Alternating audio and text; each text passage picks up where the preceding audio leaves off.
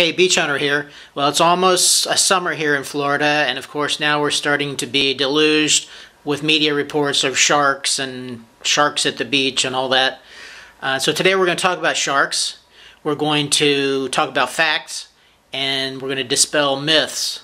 So, stay tuned. A couple of weeks ago, this story appeared in the local media and it made the rounds on Facebook. And it's these guys on uh, Indian Rocks Beach or Indian Shores Beach uh, caught an eight foot bull shark and pulled it uh, on onto the beach and then they released it afterwards.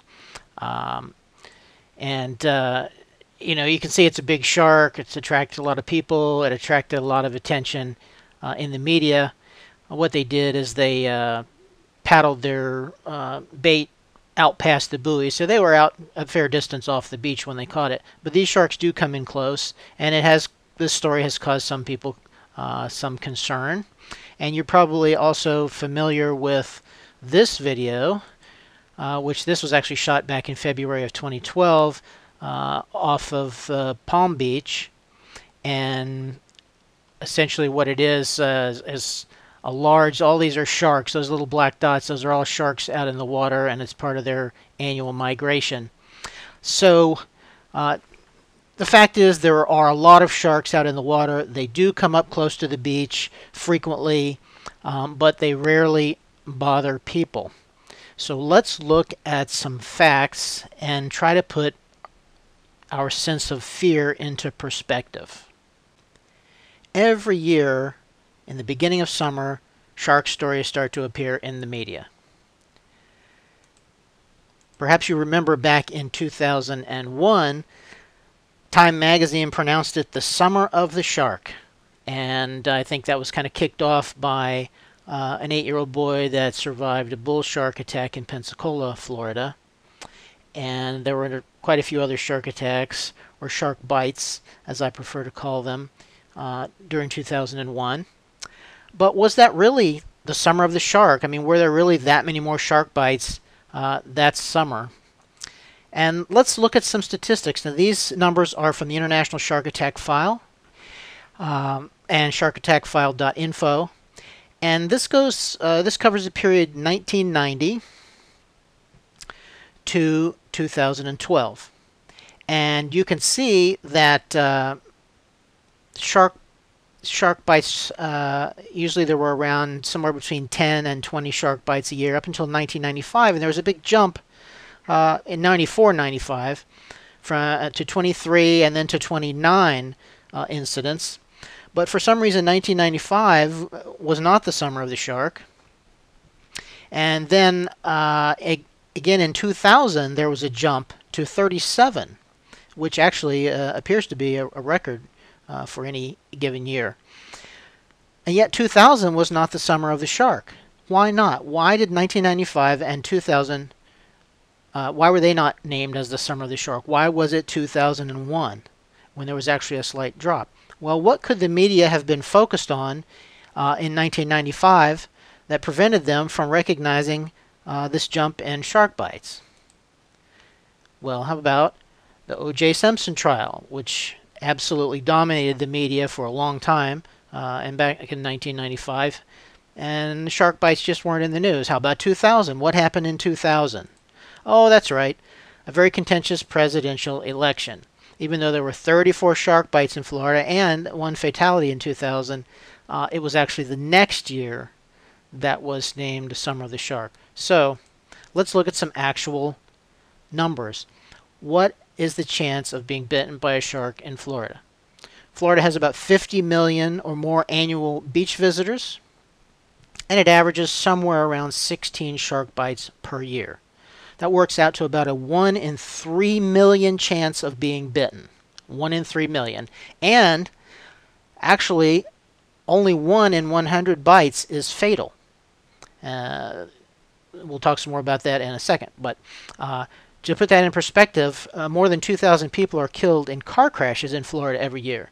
So you're probably, well, you're definitely uh, in more danger driving to the beach in your car than you are swimming in the water or surfing at the beach. What are the highest risk beaches in Florida? Well, if you look at the shark bite statistics since 1882, uh, and keeping in mind that those early years, the 1800s, early 1900s, eh, the reporting might not have been all that complete. Uh, but if you look at those years, Volusia County, which is Daytona Beach and New Smyrna Beach, Brevard County, which is Cocoa Beach, and Palm Beach counties.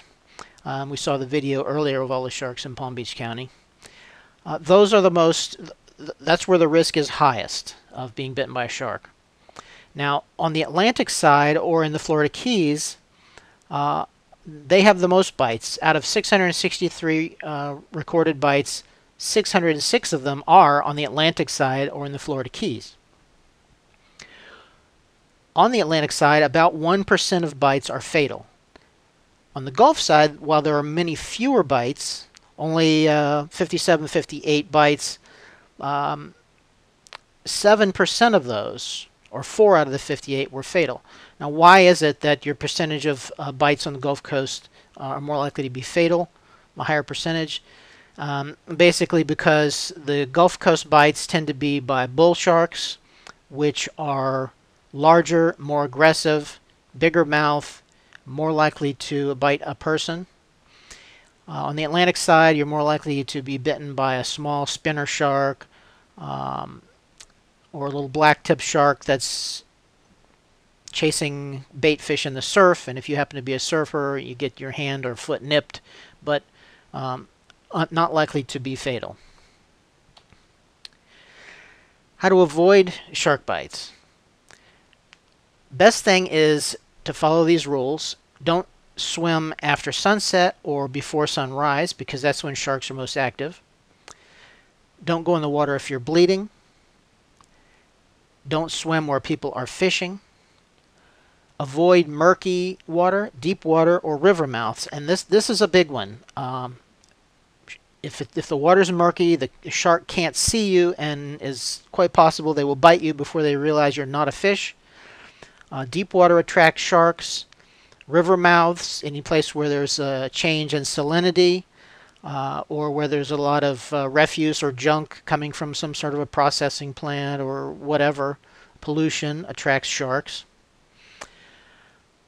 Swim near other people. There's some evidence that a lone person out swimming is has a higher chance of being uh, uh bitten by a shark than someone swimming with a group. Uh, stay close to shore, not so much because sharks don't come close to shore, but they do. But if you're closer to shore, you're closer to help. You're, you can get out of the water faster if you see a shark. Um, and people can get to you and help you. And it's also, shallow water is usually more clear, and so you're more likely to be able to see a shark that's approaching. And of course, you should avoid schools of bait fish. So these are basic rules to uh, to keep you safe from sharks. It's not a 100% guarantee because there are so many sharks out there.